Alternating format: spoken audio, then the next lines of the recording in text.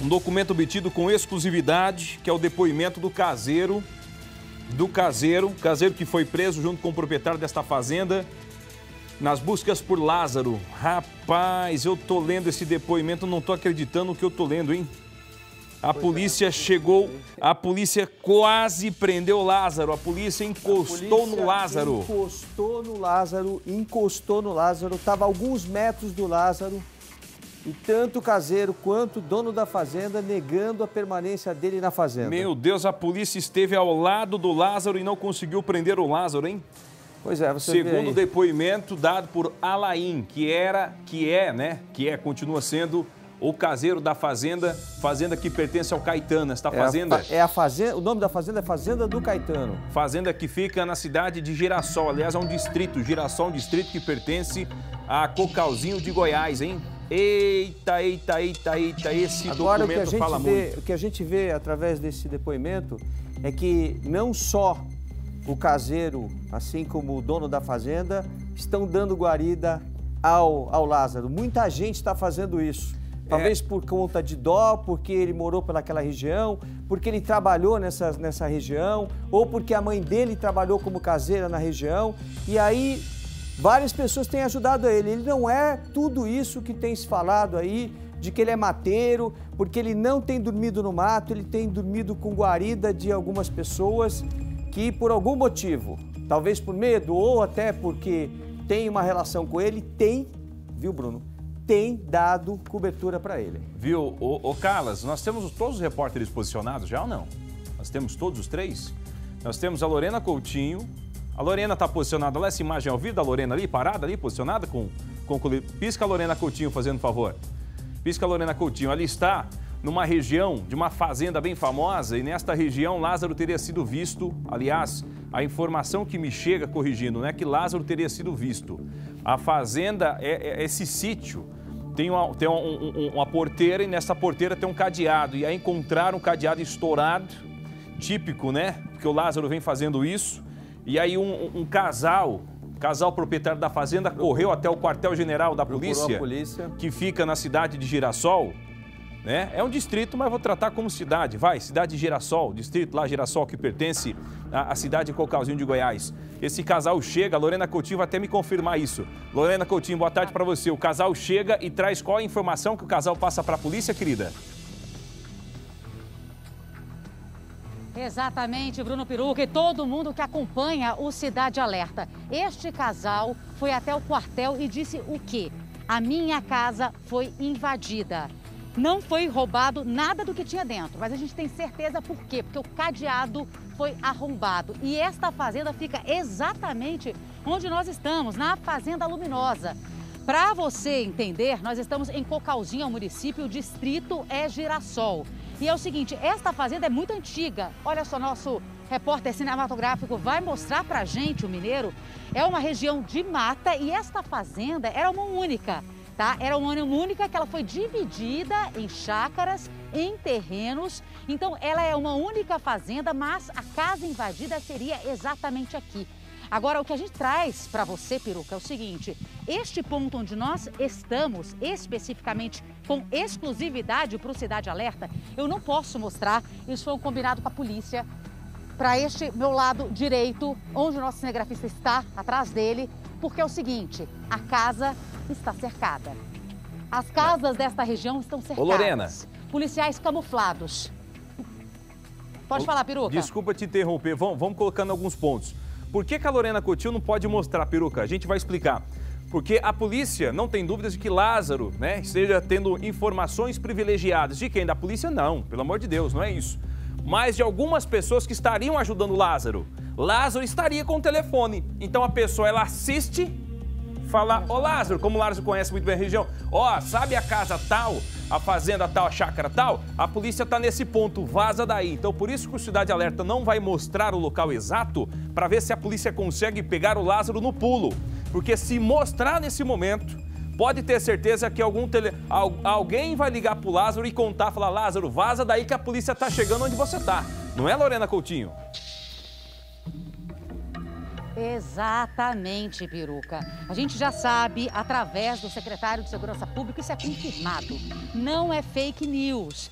que ele teria contado com a ajuda de um fazendeiro que mora também nessa fazenda luminosa. Tá? Aliás, o que a gente sabe é que ele perdeu muita influência. Ele tem muita influência, ele perdeu o poder dele, ou seja, ele está perdendo a força. E a gente não pode revelar onde é e a fachada dessa fazenda, porque isso pode prejudicar. A gente já sabe que o Lázaro, viu, peruca, ele roubou alguns celulares. Ele já usou alguns celulares e tem pessoas ajudando. O secretário disse que se trata de uma organização criminosa. Ou seja, se tem um fazendeiro que ajudou, a gente já sabe, né? A polícia alega isso e afirma isso. É, então, outras pessoas podem dar, estar dando essa cobertura. Então, eu vou pedir para o nosso cinegrafista mostrar. Deste outro lado, tem casas por aqui. E é o seguinte: a informação que a gente tem é que os policiais estão como? Eles estão tomando todas as casas, tá? Para que se Lázaro invadir o local, para que a polícia dê o bote. É claro, tem muitas casas. Tem casas que a gente não consegue nem ver, porque o perímetro é muito grande. Então é o seguinte, eles estão tentando dar essa cobertura o máximo possível para, no momento certo, dar o bote. Então, com exclusividade, Peruca, estamos aqui, porque quando eu cheguei, só para te dizer, o policial imediatamente falou, Lorena, não mostra para cá, senão vocês vão ter que sair. Então a gente vai respeitar porque, obviamente, a gente não quer atrapalhar o trabalho da polícia. Ao contrário, o que a gente quer é que esse homem seja capturado o mais rápido possível. Afinal, são 18 dias de buscas, peruca. Espera um pouquinho, Celso, só um minutinho, Celso, só um minutinho. É, é, que é o seguinte, a gente está conversando com a produção é, é, tem como dividir a tela aqui, fazendo favor? Tira a Lorena Coutinho, que eu já vou com a Lorena.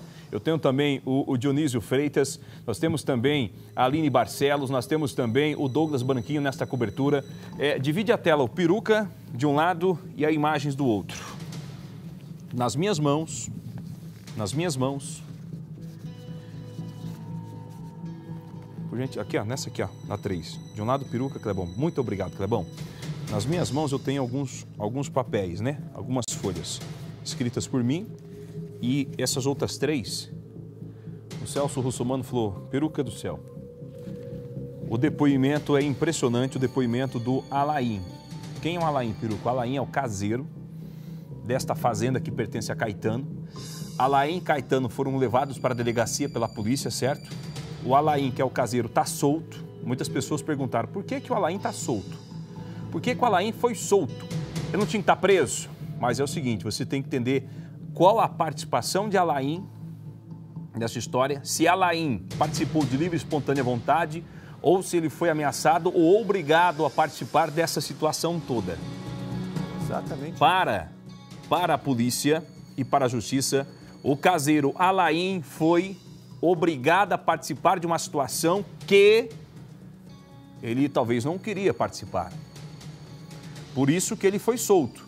Só que o dono da fazenda, o Caetano, continua preso.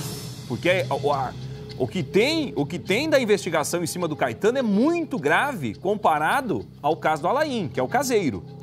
E aqui nas minhas mãos, três folhas com o depoimento do caseiro.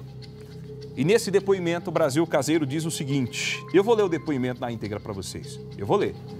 Ele cita o seguinte: a polícia quase, quase prendeu, quase colocou na cadeia uhum, o criminoso mais procurado do Brasil. A polícia esteve a poucos metros do Lázaro. A polícia esteve na fazenda.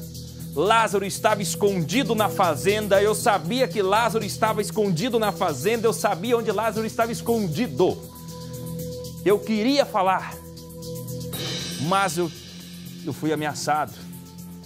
Não eu só, podia. Não só foi ameaçado, peruca, hum. mas além de ameaçado, o dono da fazenda, num primeiro momento, desconversou, dizendo que ele estava vendo coisas. O dono da fazenda falou: Não, você tá louco, falou Você está louco, você está vendo coisas. Você não viu Lázaro aqui. Tá tudo aqui, ó.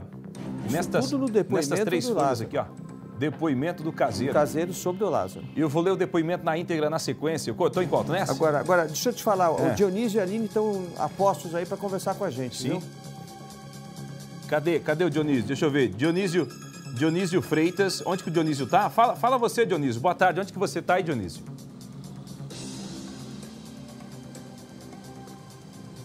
Oi, Peru. Oi, Celso. Eu estou na primeira barreira da região de Girassol, que é um dos pontos principais dessa tentativa feita pela Polícia Rodoviária Federal de vistoriar o maior número de carros possíveis. Nós estamos pertíssimo também, aqui do nosso lado esquerdo, da região onde foi feito aquele grande cerco nas últimas horas, o local onde foram presos os dois suspeitos aí de ajudar de alguma forma Lázaro Barbosa, o fazendeiro de 74 anos, que seria, segundo a polícia, o mentor de toda essa ajuda feita ao serial killer mais procurado dos últimos anos aqui no Brasil e do caseiro dele, que recebeu liberdade na madrugada de hoje, justamente por ter contribuído com as investigações. É um ponto Celso e Peruca, que é, é, bem conhecido aqui na região, porque eram aqui que aconteciam as primeiras aparições do Lázaro. Logo no início, antes de toda essa história começar, com aquele crime lá em Ceilândia. E é uma região que chama muita atenção a nossa equipe, e eu costumo falar isso desde que o Lázaro foi visto pela última vez numa troca de tiros com a polícia, numa última quinta-feira, de que aqui ao nosso lado esquerdo, eu não sei se você consegue ver, Peruca, um vilarejo que existe logo aqui abaixo, é exatamente a região onde morava o pai do Lázaro, onde mora. Ele saiu daqui com medo, dessa repercussão toda e do fato de o filho poder voltar aqui e mais uma vez tentar assassiná-lo, algo que ele já havia sido alertado por parentes e amigos da última passagem do Lázaro aqui pela região, pela casa do seu Edinaldo no ano de 2019. Então, é uma localidade muito próxima, ou seja, o Lázaro estaria se escondendo a poucos quilômetros de onde morava o pai. Então, essa relação chama muita atenção por conta disso. E é aquela localidade onde a mãe do Lázaro já havia trabalhado e conhecia diretamente aí esse fazendeiro de 74 anos. Aqui onde nós estamos também, nós temos uma visão privilegiada, Peruque Celso, de toda a área do comando feito pela Força Tarefa que tenta localizar Lázaro nesses últimos 18 dias. Acabamos de ver o pouso de um helicóptero que estava em uma operação que acontece no município seguinte, lá em Edilândia, esse que a Lorena trouxe para a gente aí, onde a gente não pode dizer exatamente onde acontece essa operação, justamente para tentar minar a possibilidade de o Lázaro conseguir mais uma vez escapar. E a gente consegue entender um pouco desse raio de ida e vinda dele por dentro dessa área verde que existe aqui. É uma grande área, eu volto a dizer isso sempre, que é a forma que já foi confirmada pela própria Secretaria de Segurança Pública e é a forma que nós estávamos cantando desde o início dessa fuga. O Lázaro utiliza os córregos para conseguir passar por essa região. E exatamente aqui atrás existe uma grande linha de córrego que corta o município de Girassol, que é onde nós estamos, faz uma interligação com a área de mata fechada e depois dessa mata fechada existem outros córregos que ajudariam Lázaro a se deslocar tão rapidamente, sem deixar grandes rastros, entre essas duas comunidades. A comunidade do Girassol, o povoado, e também o povoado de Edilândia, que é onde ele já havia passado na semana passada, e aquela mesma região onde ele teria feito três pessoas de uma mesma família reféns. Então o trabalho dessa força-tarefa agora se deslocou um pouco mais lá para cima. Mas pela manhã tudo acontecia exatamente aqui. Foi aqui também, Bruno e, é, e Celso, que aconteceu uma tentativa, pelo menos um alerta dado por moradores que estavam deixando a região durante a noite, de que quando eles chegaram, o caseiro chegou para trabalhar nessa propriedade, encontrou um dos cadeados quebrados, ou seja, alguém tentou entrar na propriedade, a polícia foi toda acionada aqui, a gente acompanhou tudo isso de perto, mas dentro dessa casa, a pessoa que tentou invadir não conseguiu abrir a porta principal porque ela fazia muito barulho e, e teria saído de lá sem levar absolutamente nada, que é exatamente o que a polícia tenta nesse momento. Minar o Lázaro pela falta de comida e pela falta de descanso. E aqui na região, durante a madrugada, eu não sei se já disseram para vocês, que eu conversando com alguns moradores, aqui faz muito frio durante a noite, mas nessa noite especialmente, a sensação térmica chegou a 3 graus. Ou seja, um homem que estaria sem casaco, sem proteção, que estaria caminhando no meio da mata, que ainda fica mais frio por conta da umidade, da presença de córregos, não conseguiria ficar muito tempo escondido dentro de um local como esse, justamente pelo frio em excesso que estaria fazendo aqui na região além da pressão psicológica feita pelas forças policiais, de tentar fazer com que ele se movimente, para que nesse movimento ele possa deixar um rastro, como aquele que nós vimos, com um drone utilizado nas buscas, que apontou uma movimentação de algo dentro da mata que rapidamente desapareceu. A polícia tenta, justamente com a, com a situação do clima, com a mudança climática aqui da região, encontrar outra forma de fazer com que o Lázaro tropece mais uma vez, deixe um rastro mais forte e seja visto ou pela polícia diretamente ou até mesmo por outras pessoas que possam denunciá-lo. E sem alimentação, isso aconteceria de forma mais rápida, Peruque e Celso. Exatamente, Dionísio. Concordo com você plenamente. O Dionísio Olha. fez uma colocação extremamente importante, Celso. Nesta última noite, né, nesta região onde, onde ele está, né, onde Lázaro também é, estaria, né, segundo a polícia, a polícia acredita que ele está nesta região, 3 graus, ou seja, seria praticamente impossível ele passar uma noite ao lado de uma represa, ao lado de uma lagoa, de um riacho, ali, sem blusa, sem nada, né? Ele seria praticamente impossível.